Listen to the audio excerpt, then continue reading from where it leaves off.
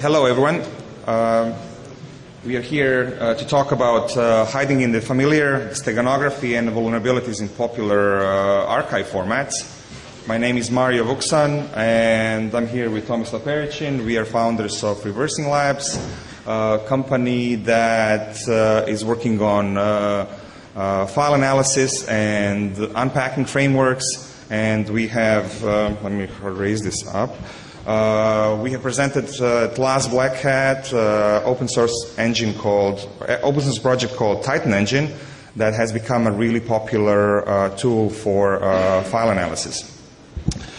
So we have been since working on some interesting technology and have in the process discovered some vulnerabilities in popular archive formats like zip, rar, gzip, cab, and 7zip and are here uh, uh, joined with uh, Brian Karney, who is CEO of our world's leading digital forensics company, uh, Access Data, that has helped us a lot, you know, with uh, uh, putting together this research.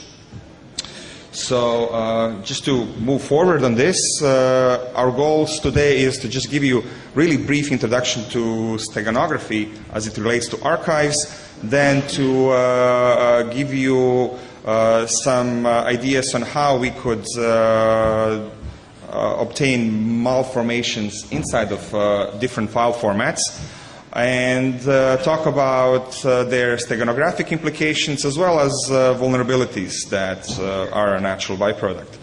After that, we will move on to demonstrating some quick and dirty uh, hex editing, and uh, um, how to create your own uh, file formats by modifying the very standard stuff. And we will finish with a, a freeware tool that's going to be available today, which we call Nyx Engine, uh, which has been specifically designed to detect malformations in standard uh, archive formats, and then also to detect all the uh, vulnerabilities that we will be talking today.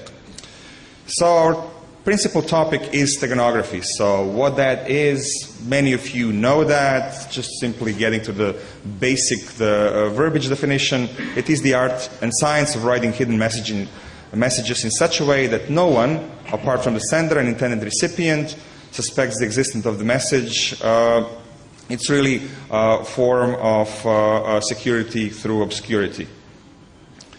It's a concept that's been around for a long time. You know, we want to talk about, you know, all its ancient and uh, historic predecessors, but really when it comes to digital stuff, it comes to this. Take one image, in this case, you know, we will uh, re uh, remove uh, uh, some bits of the color map. The result will be a black image. We will change the brightness by 85%, and then we will get a hidden message or the image, you know, that's being buried into it. So um, when we're talking about steganography, it's really images, it's been historically audio, uh, has been more recently video, but today we will really focused on uh, archives or ways we can bury really big payloads into uh, standard things. Steganography or uh, shorter uh, uh, for, I think we are, is this the next slide or the one before? It is the next slide. Or, or just a, I thought we had another slide before that. Uh, oh, we are missing one slide. All right. Doesn't matter. Um, um, anyhow, so uh, when it comes to steganography, there is uh, legitimate use and illegitimate use for uh, steganography. And uh, uh, stego is the word that you know forensics community uses for the steganographic use when looking for the so-called contraband. But uh, uh, steganography is also a feature of you know watermarking, DRM uh, uh, cap for you know signing movies, or more recently for uh, uh, embedding watermarked information inside of the medical images. And still, people talk about steganography principally for messages hiding text within the text, in images, media files.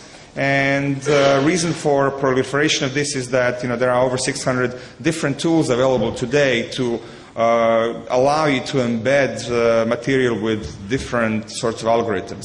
Many of these things have been uh, open source, and as such, uh, uh, there has been prolifer- proliferation of commissioned private tools, uh, really focused on total obscurity uh, in embedding information, uh, principally to evade detection that in today's world is done in really two different ways. Either you try to inventory all the possible algorithms and are looking for artifacts uh, inside of images or media files, or you're just looking for the presence of the tools that do uh, encryption, decryption uh, of the data, meaning you're looking for hashes of uh, these tools.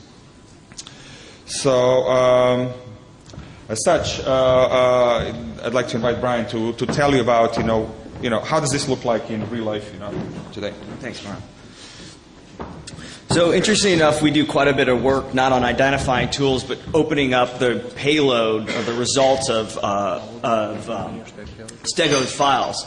But I, as part of this uh, this project, working with the Reversing Labs team, that we went out, I set out to try to find some good stories about steganography.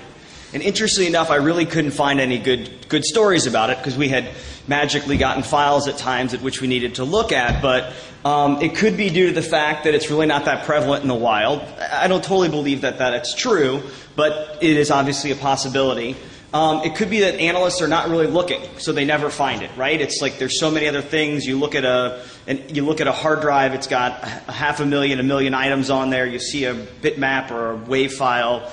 You know, what are the chances? Um, it could be that most media-based uh, approaches have many weaknesses. So the big thing is, is that when you start shoving a lot of data in some of the traditional Stego carrier files, they start to get a little bit messy.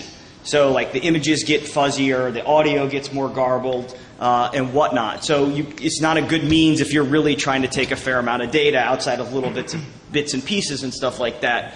Um, and that right now, the best method to identify Stego is to find the tools based off of hashes. End of story. It's pretty much sort of what they do. There's a few different hash databases out there and a few different tools and stuff like that. But uh, right now, sort of the best method to identify Stego on a machine is to see if there's presence of a Stego tool. If there's presence of a Stego tool, there's a possibility that there's some Stego payload or there was some uh, potential information that was Stego. So um, or it could be that steganography is just so effective that nobody really knows. Um, so, new paradigms for forensic, really from an investigative perspective. Obviously, we talked about the traditional steganography is thought of just embedding data in media files, audio, JPEG, bitmap, GIFs, and stuff like that. Again, things get a little bit uh, messy as you start to increase the payload. So, if, um, if you're really going to go through the effort of taking stuff, you, you kind of want to probably take a bunch of stuff with you. So this really, the, the, the, session is really about a new paradigm in steganography, which gets used a lot. Um, but really, there will be a shift away from the media files, probably, to more of the archive files, zip, cab, 7-zip, um, like the rest of the team is talking about. So within these archive files, why why it's a big why it's relevant is because you can start putting more data in there these data, once you put data into these archives, you can still get stuff out. So you're like, oh, it's fine. The archive's good. Uh, so it's sort of, you don't really know unless you really start to look into these different archive files. Um, and there's also other approaches. There's discussion about a Stego file system uh, recently, uh, which is basically a file system and uh, which sort of looks like a TrueCrypt, where you basically open it up with a regular password and then because in the UK they recently passed a law talking about you have to you have to give up your password. So if that's the case, they, you would go, they would say, give me your password, you'd give them your password, it would open up, there'd be benign files, but inside that archive or that file system is a whole other set of things. So um, that was called the Stego file system. And then I also just uh, read about a, another approach where you can take a CD file system, the CDFS like file system, with the CD, and you can just jam data into the CD. But when you go to read it, it looks like a regular play and stuff like that. But you need to know to look outside of the sort of no, no, uh, normal bounds. So uh, investigating Stego in archives. So why this is really relevant from an investigative perspective is one, it's easier to hide larger payloads in plain sight. I think the most relevant thing is it's not easy to uh, identify using existing methods. So all the existing methods are like blind anomaly based approach, uh, looking for things that aren't the signatures, uh, image analysis using image filters, audio analyzers, uh, and whatnot. So those are all very much media-based approach. And then